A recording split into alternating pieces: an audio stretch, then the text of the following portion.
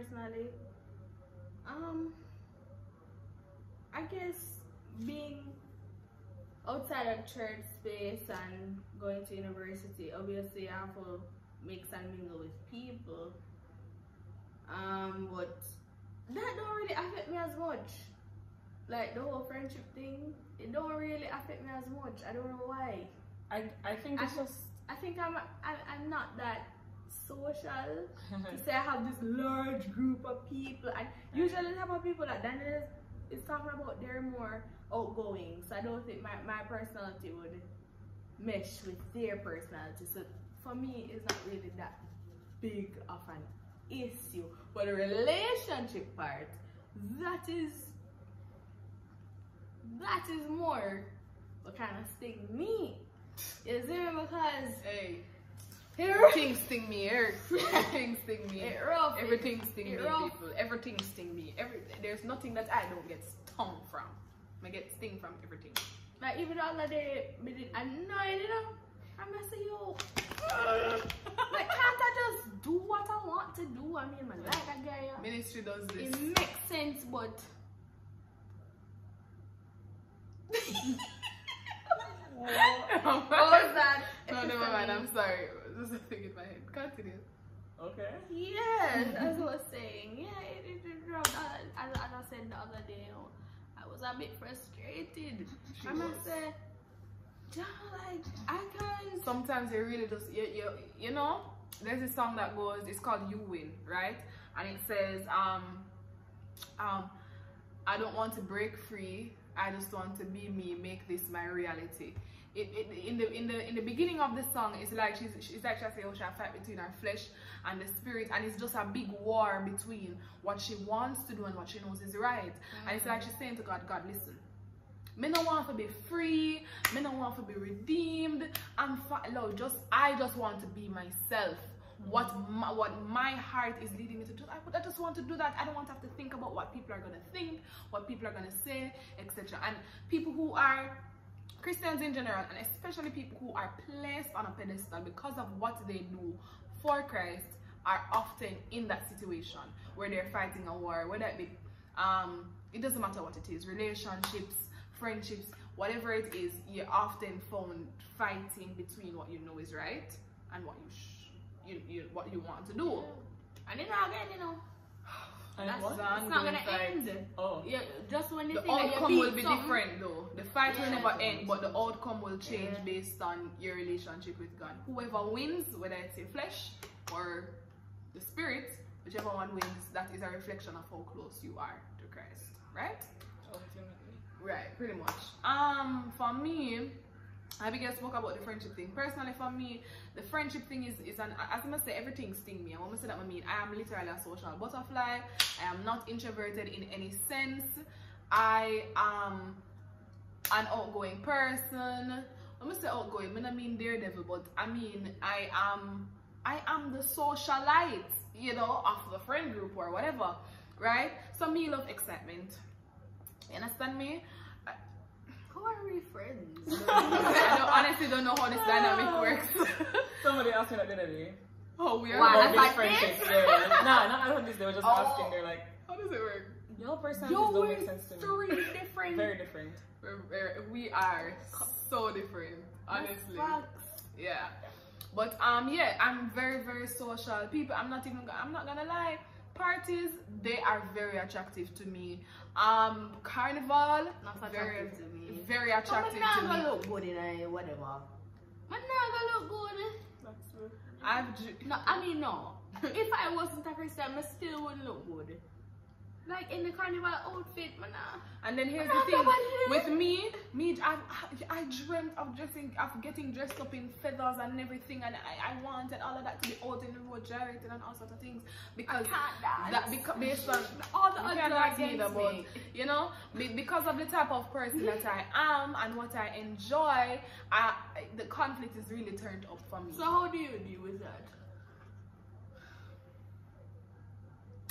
Yeah. Uh, well, number one is surround. What I try to do is surround myself with people who are like-minded. And I know that probably might sound cliche, but what I mean when I say that is people who are trying to go in the same direction as I am. Mm-hmm. What the whole way I try to go the same place in the sense that all of us are trying to make it to heaven, all of us are trying to get to that ultimate place with Christ where we are walking with him and people look at us and see him. That's where all of us are I trying to get.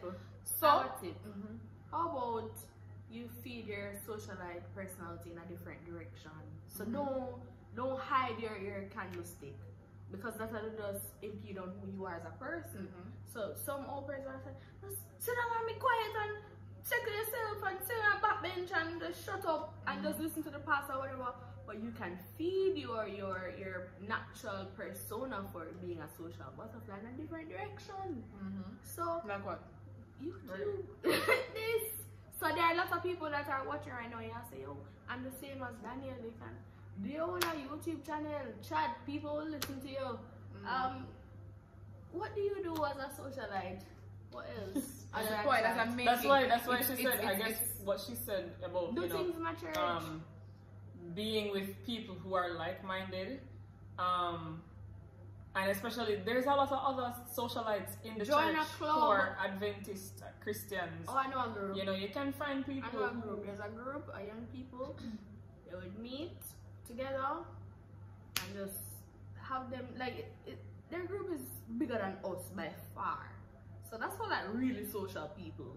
So they wanna go out mm-hmm. together, do things. It's like the production team. Or So- production team, but like real friends.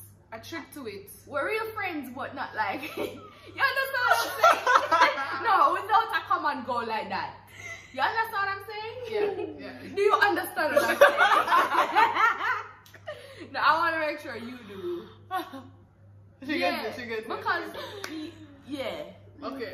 so the, the, the, the tip is to channel your socialite energy just in a different way. Yes. And a way you can do that is just bounce around people who are who are who are like minded, who are like you and who Right. enjoy doing, you know, social stuff. Yeah? uh, You know that simple, honestly, but you know it, it can be done. It's something that I'm working on personally. You know, it's some it's literally a journey that I am treading right now, literally in my life, right? Yes. I just wanted to jump in on the whole friendship thing, um, and say, I think I personally think you can be friends with anybody. You can Hear be. me out, right? You can be. Not Um, anybody. No, hear me out. Hear me out. I think you can be people. well, well. Um, I think you can be friends with people who respect what you are trying to accomplish. If I make them respect it, so that so so there you know there's some people who they have contrary beliefs to you whatever that is and they simply do not respect your beliefs and so like the example she gave earlier like abigail hypothetic abigail is that a word hypothetic Yes. i don't know i've never heard that in my life but i'm using it anyway All right. hypothetical abigail i don't know you y'all get the point right that abigail all right. Not Um, that Abigail, but I made up Abigail. the made up Abigail, right? That's not a friend that you want to keep around because evidently that friend doesn't respect that you don't want to go clubbing on a Friday night. Or at Or all. You get me? So so that friend should respect you in in the sense that okay, they want to go clubbing on a Friday night. Go ahead. Well, not really go ahead because we're not really trying to encourage you to do that. But you know that's what you're gonna do on a Friday night. Cool. Sunday now, when Sunday come and they're not doing anything, let's go watch a movie. Let's go play some games. You know, so that quality time is still fulfilled. Does it's a simple it's a simple matter of does your friend respect what you are trying to do? Um, and that's just it for me. If if there's mutual respect, we good. It makes sense. I get you. Yeah. Yeah, so that's another thing. So you have to, you know, the, the respect has to be there. If them know, if them disregard the fact that you're Christian and you have certain values, then it really don't make no sense. Um, also, you have to make them respect you too, in the sense that, um, and my mother would always say these things to me. You, you have to, you have to show them something. When I say that, I mean you can't be you have to be careful around people who are not of this of like of like you have to be careful around anybody everybody but especially those who are outside of the fold remember the ultimate goal is to get them in we have to be careful of what we're showing them or who we are to them and that's what i say so we have to make them respect we so certain things them can't catch you because how are we gonna go to the club with them on Hey. friday night That is no, no. That is and then, big. and then go back back them No. come church like yo, on a personal, on a personal note, brother. Like when I was in high school, my high school friends is in me. Love them to death. To this day, I love all of them. Um, but I realized that because of decisions I made when I was that Leslie and the younger Leslie, and like you know, high school Leslie, there are things I did that What did it do? not nothing too deep, but when I get it, when I need to get into that. But it was like because of those things, after I was like really intentional with God and everything, and my life changed, them just them never really take it too serious because they would have seen me before that. So you have to that point right there, you have to be very careful about the things that you are caught doing. Facts. So yeah, that's that. Um, that's the friendship aspect of things. Um, the relationship aspect of things, boy. Oh, that's going 36 minutes. That's a long time. Wow, doesn't even feel long. All right, yeah. The relationship aspect of things. Um, Can do a It's- part two. it's this video was always gonna was always already, Oh. already gonna be broken up into part one and part two anyway. So yeah, um, the relationship aspects of things no boy. It boils down to respect. It boils down to respect. Seriously. Hold on. It does. No, say what you're saying. Say what you're saying. I just want the to hear you. relationship aspect of it, it does boil down to respect. You have to be with somebody or whoever you want to be in a relationship with. They have to respect your principles and boundaries. That's the where I was going.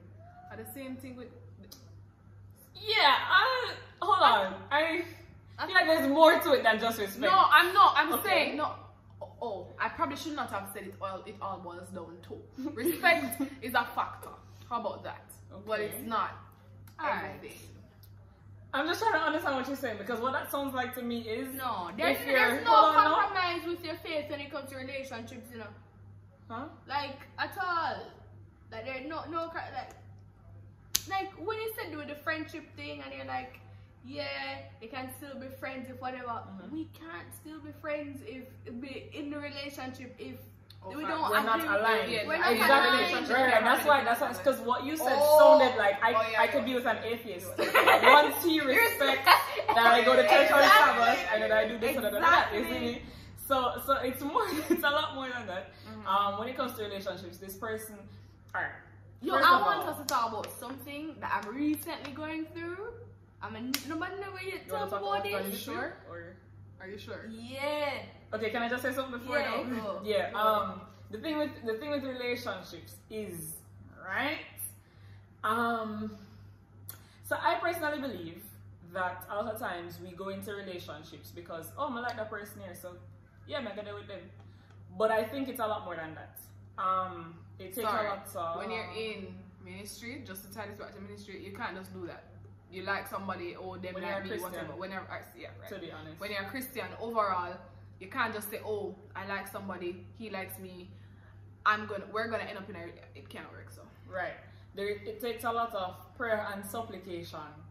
Um, even in the beginning of a relationship, like not just if you're gonna get married or whatever the case is, because it doesn't make sense. You spend so much time with a person, and then God is just like, nah, and you have to come out to all of that again.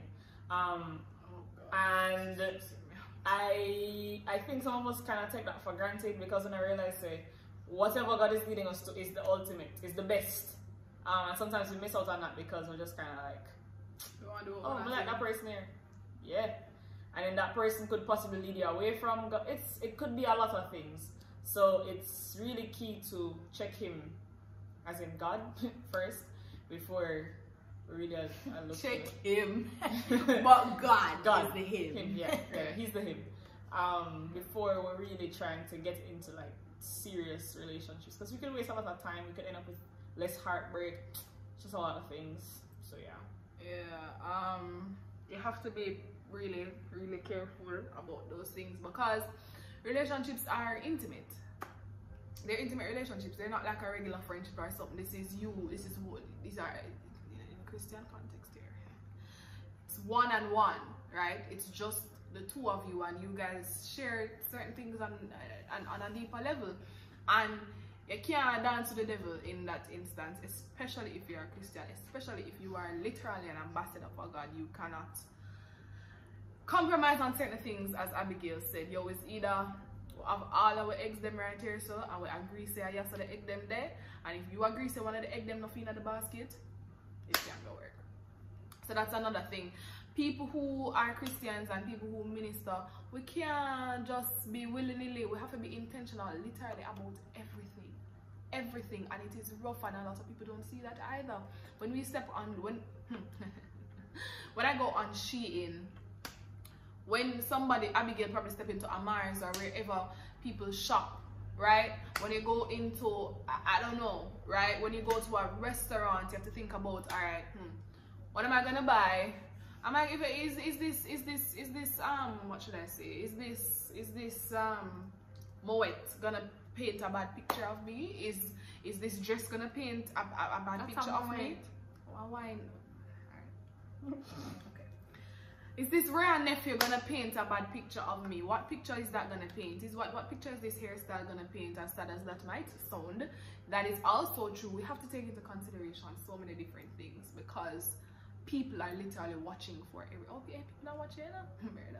People watch us Christians overall, people who are in ministry worse, they watch you and you are looked at 24-7 I have to be intentional about every single thing. And that but wait. But wait. me watching this. me watching this, but we just leave them high and dry. You see me? What if there's a young person watching and them, are, them like, yo, this not sound good. And they don't want to go into ministry because of it. This not. Uh, Abigail said it earlier, you know, the sacrifice is worth it. Um, and I think. Tell us why it's worth yeah, it. because because if you said that, what what that mean? Um. Yeah, because not everybody I, gonna get the opportunities where we get for go on virtual church and right. I get you. Whatever. Here's my thing. Here's my thing with that. Um, ministry is tied to God. Um, you go into ministry because of God, or the, the goal, the, or the reason for which you go into ministry should be because of God, and to further His cause. That is our mandate as human beings. That's what we were. That's what we were created for, right? That's what. That's why we're here. And so, yeah, greater than really any other sacrifice that you could make. So you really have to look at it and you have to count. It's really, you have to prioritize. Honestly, this is what you were called to do. Yeah?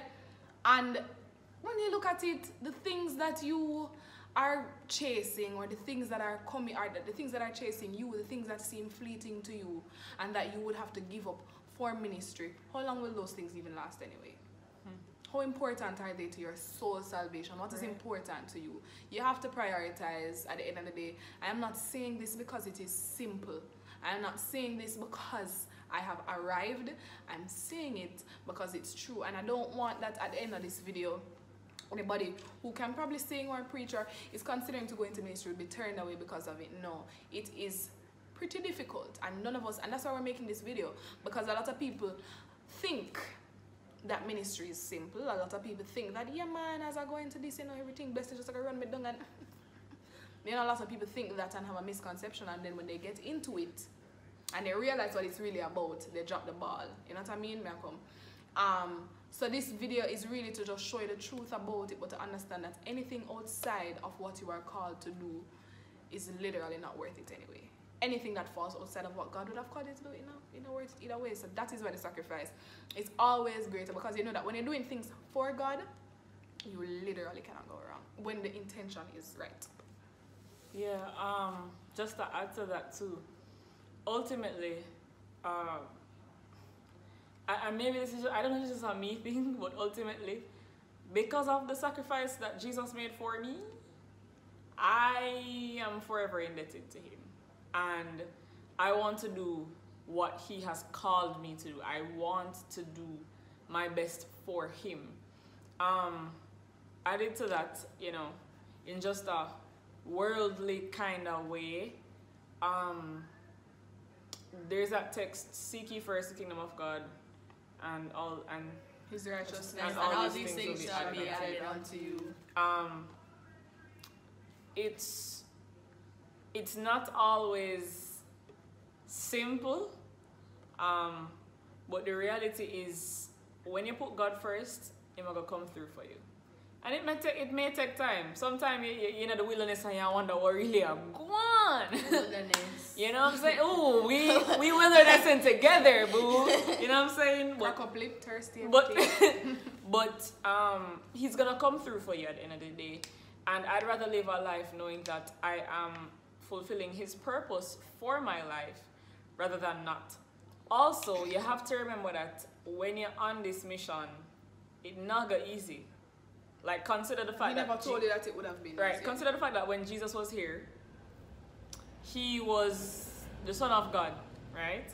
And he was on the work. The people them did not persecute him same way. You see me, same thing for his followers after he died. Um, Paul and them man, hey, them They man died. they suffer, you know. They suffered, they died. Them man they go the- through it. But at the end of the day, even if it may be tough sometimes, the end goal, we're gonna make it to heaven.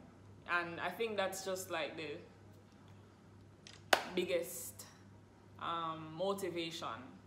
Yeah. You just have to count the cost, isn't it? What what are you what are you gaining versus what you're losing? Any closing words, Abigail?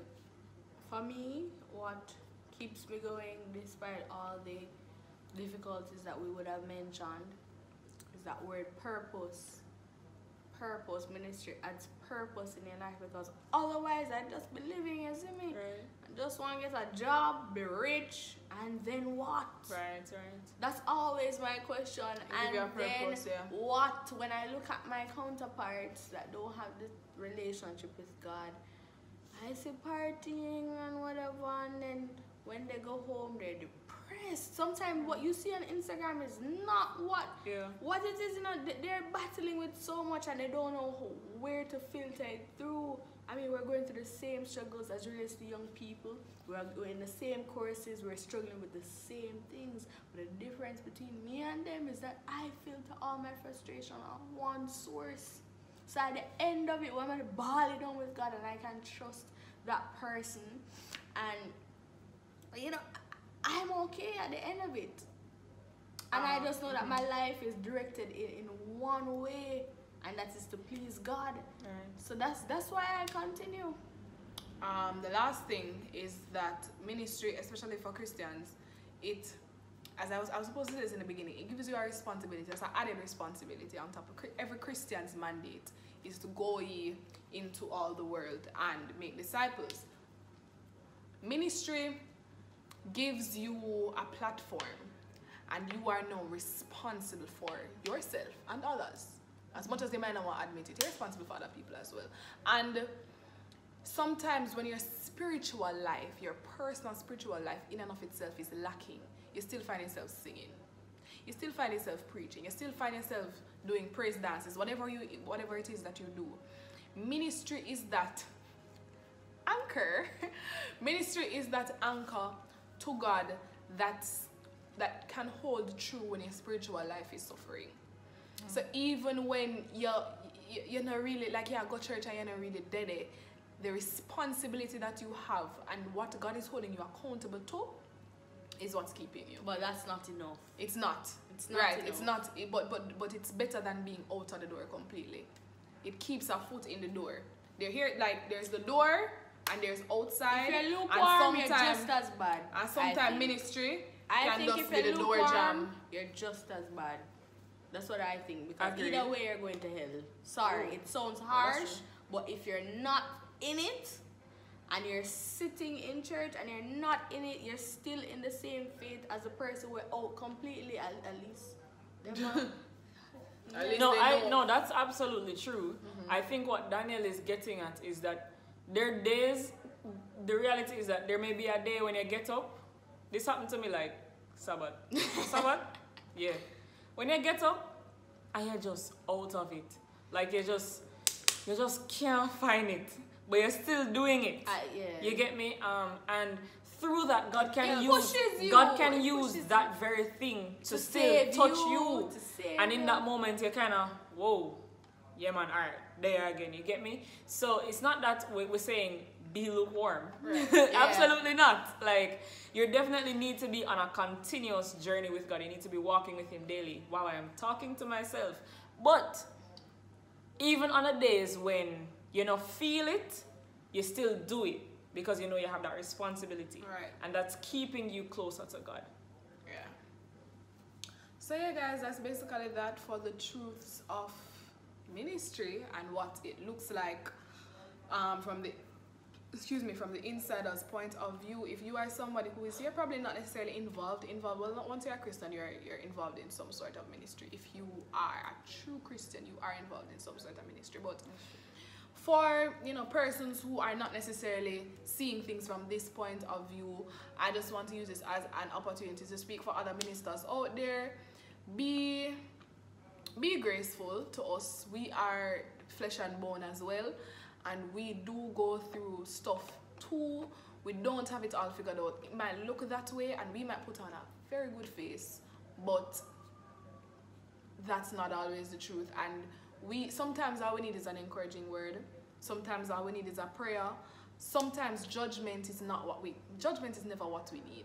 You know sometimes we need a stern drape up too. You know what i mean? Sometimes that's what we need. But you know today after you watch this video and stuff and you know be a little bit more graceful to, to, to something that you might see somebody that you might be around. Be a little bit more great grace sorry I'm uh, graceful myself sorry be a little bit more graceful to somebody around you who might be a minister and you realize that they're going through a rough time. Pray for them rather than beating them down. And ministers who are hanging on by a thread the sacrifice is always greater. Read the Bible more, talk to God more. period. So yeah. There's that. that's pretty much that. This video is very very very very long. But anywho we did what needed to be done. So yeah guys thanks for watching another video. Remember to like comment share and subscribe. This is leslie. Leslie Ann. My name is Leslie Ann. this is leslie Ann, and this is abigail. And this is me and we're signing out bye guys